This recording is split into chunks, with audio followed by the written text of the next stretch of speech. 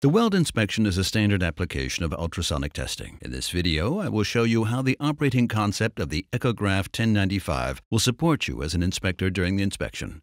The Echograph 1095 is a handy device that weighs less than 4 pounds and has a large 7-inch display that shows the A-scan in full screen format. The plain text menu is self-explanatory and gives you direct access to all essential device functions. The functions that you need frequently or whose effects on the A-scan you would like to observe directly can be set on the six freely assignable function keys. For weld inspection, we need an angle beam probe. The respective probe parameters have to be properly set in the device. For this purpose, we select the probe menu and load the probe from the database. All essential probe parameters are loaded from the database into the device. The refraction angle and index must of course be checked on the K1 calibration block.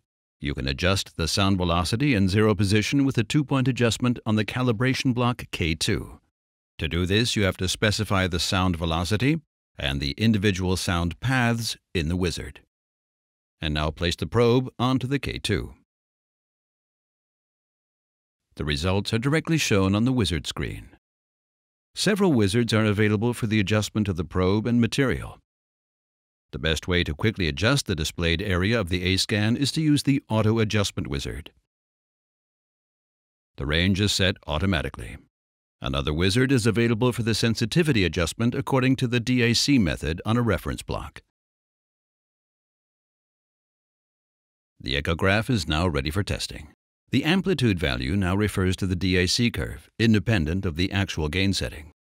Helpful for the evaluation of indications is the skip information and the marking of full and half skips. The skip information shows the position of the indication on the sound path, while the skip marker automatically places the monitor on the path between half and full skip.